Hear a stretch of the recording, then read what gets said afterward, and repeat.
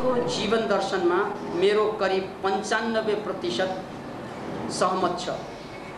अति भौतिकवादी दृष्टिकोणले पीडित म म जस्तो एकाङ्गी धारणाको व्यक्तिलाई अध्यात्मवाद वा न्यूनतम आध्यात्मिकता वा मनोवैज्ञानिकताको खाँचो बुझ्न सक्ने बनाउने र समस्याले समस्याले सम्झिँदा सम्झनु पर्ने साक्षात् भगवान् वा जिउँदो भगवान्को रूपमा हजुरलाई पाएको छु।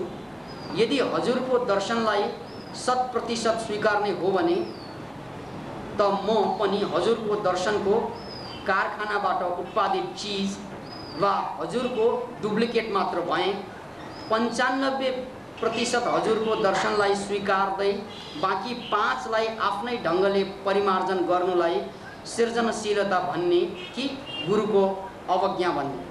सृजनशीलता भन्ने। किनभने कोही पनि व्यक्ति ठुलो बन्नलाई वयस्क बन्नलाई सानो बन्नै पर्छ। पहिला ऊ सानो भ्रूणबाट सुरु हुन्छ। विचार गर्नुहोस् जिन्सबाट भ्रूणबाट सुरु हुन्छ। डिम्बमा प्रवेश गर्छ। त्यो आँखै नदेख्ने त्यो किटाणु एक किसिमबाट बढ्दै बढ्दै बढ्दै मान्छेको रूपमा जन्म लिन्छ। र त्यसपछि पनि उसको साइज बढ्दै बढ्दै बढ्दै पाँच छ फिट सात फिट आठ फिट पनि हुनसक्छ त्यसकारण वयस्क बन्ने पूर्वाधार हो बालक बन्नु। कोही पनि मान्छे बालक नबनिकन वयस्क बन्न सक्दैन। त्यसैले निर्भीक राईजीले पन्चानब्बे प्रतिशत आफ्नो जीवनलाई सार्थक परिवर्तन र यो मनोक्रान्ति दर्शनसँग सहमत जनाइसकेपछि पाँच प्रतिशतलाई म के भन्न चाहन्छु भने यसलाई ब्याङ्कमा चाहिँ जम्मा गरिदिनुहोस्। यो पाँच प्रतिशत आशङ्काहरूलाई मान्छेको सबभन्दा ठुलो साइकोलोजिकल विडम्बना मध्ये एउटा हो। कि उसको भाषामा क्या या त यस भन्ने शब्द छ या त नो भन्ने शब्द छ। बिचमा शब्दै छैन। पुनः याद राख्नुहोस् मान्छेको भाषाको एउटा दुर्भाग्य कि हामी कुनै नौलो कुरा आयो भने कि यस भन्छौँ कि नो भन्छौँ? यस भन्दा त्यो नचाहिने कुरा भयो भने हामी बर्बाद हुन्छौँ। नो भन्दा चाहिने कुरा भयो भने फेरि चाहिँ हामी ड्याक पर्छौँ।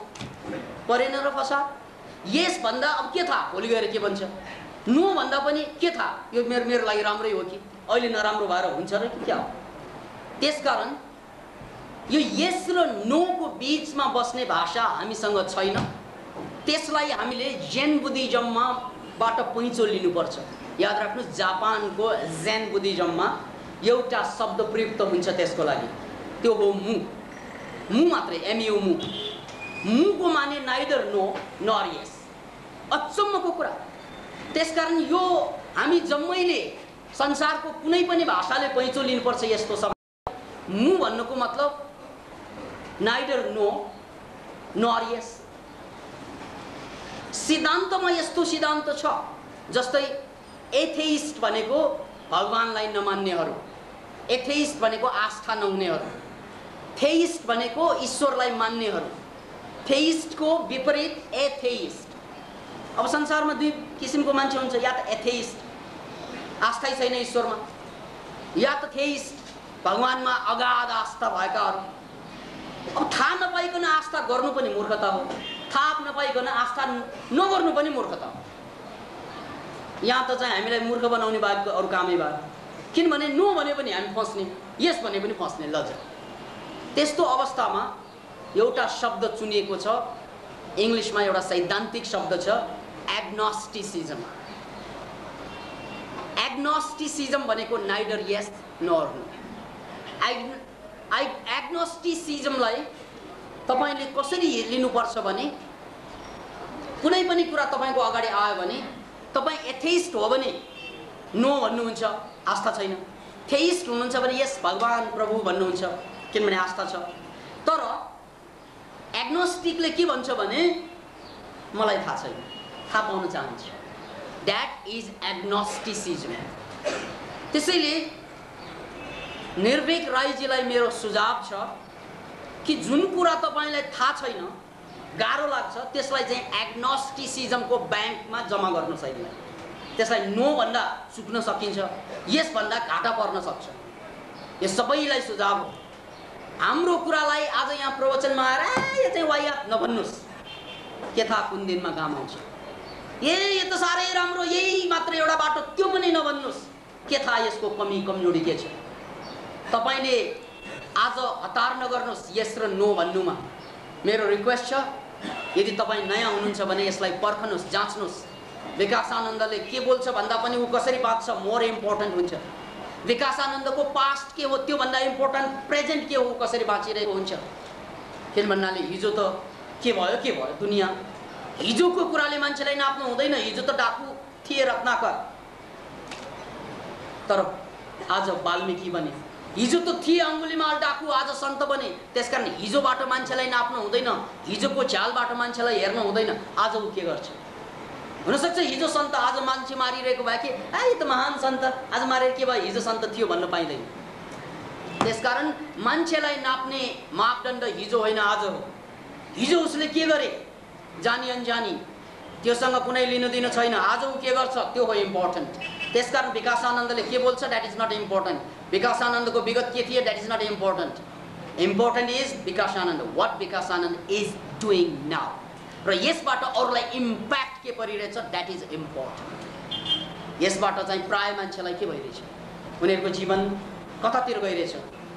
आश्वासन त छ हेल्थको आश्वासन छ ह्याप्पिनेसको क्रिएटिभिटीको साँच्चै त्यो आएको छ? छैन भने Vikas Anand is wrong however talks well जतिसुकै राम्रो बोले तापनि विकास आनन्द गलतै हो। यदि उसबाट कोही मान्छे क्रिएटिभ भएन उसबाट कोही मान्छे स्वस्थ भएन कोही मान्छे ह्याप्पी भएन भने। त्यसकारण एउटा कुरा बुझ्नुपर्छ a tree is known by its fruit रुखलाई चिन्ने तरिका उसको फल हो। रुख कस्तो छ थाहा हुँदैन। उसले फल कस्तो दिन्छ? विषाक्त फल दिन्छ भने रुखलाई ढाल्नुपर्छ काट्नुपर्छ। होइन राम्रो फल दिन्छ भने कुर्नुपर्छ। यसकारण यसलाई भनिन्छ एग्नोस्टिसिजम एग्नोस्टिसिजम याद राख्नुहोस् यो शब्दलाई। जापानिज भाषामा अब पैँचो लिनुहोस्। कुनै कुरा तपाईँलाई थाहा छैन भन्नु पऱ्यो भने मु भनिदिनुहोस्। कुनै पनि कुरा कस्तो छ विकास आनन्द मु? यहाँनिर चाहिँ थाहा पाउनु बाँकी छ। अनि तिमी कस्तो छौ नि मु? थाहा पाउनु बाँकी छ आई लभ यु कसैले भन्यो भने नो नभन्नुहोस् काम आउन सक्छ। यस पनि नभन्नुहोस् यो डाका हुनसक्छ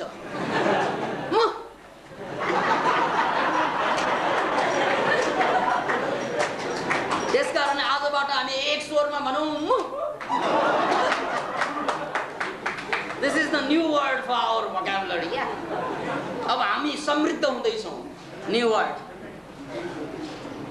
त्यसकारण चाहिँ मु भन्न जान्नुहोस् यहाँ इमर्जेन्सी सूचना गर्दा एकजना महानतम सन्त जसको नाउँ हो महावीर।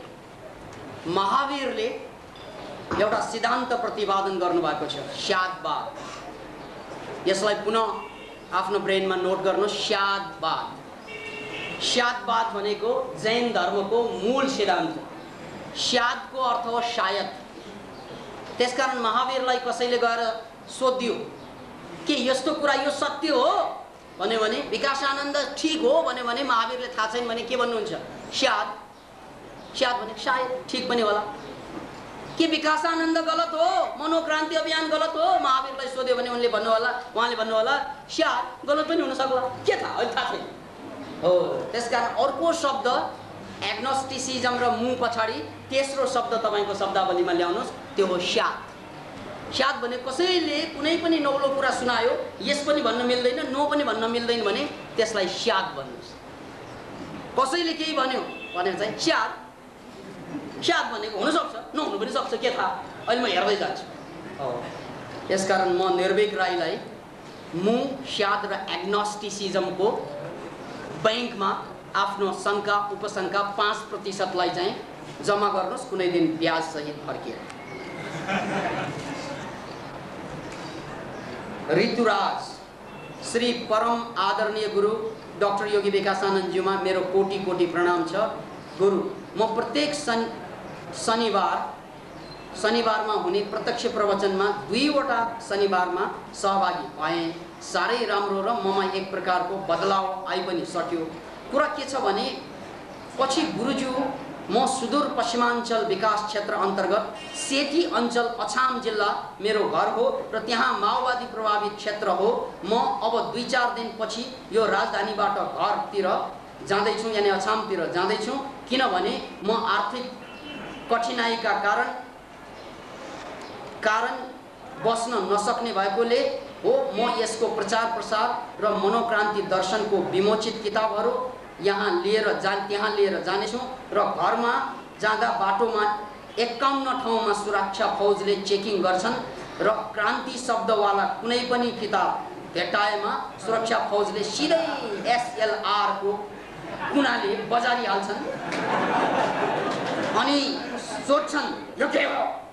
र यो क्रान्तिवाला विकास आनन्द भनेको को? हेर्दा त डाक्टर बाबुराम भट्टराई जस्तो छ। यसले आफ्नो नाम बदलेर यो यो मार्फत क्रान्ति गरिरहेको छैन भनी कतै मार खाने त होइन।